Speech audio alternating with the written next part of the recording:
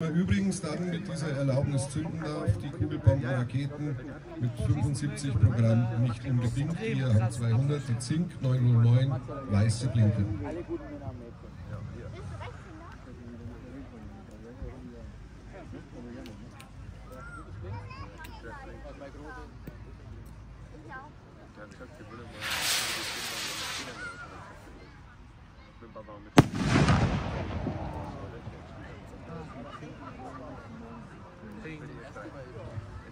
Das war eine F3-Rakete, weiße Blinker, Zink 909. Die gibt es natürlich mit verschiedenen Effekten.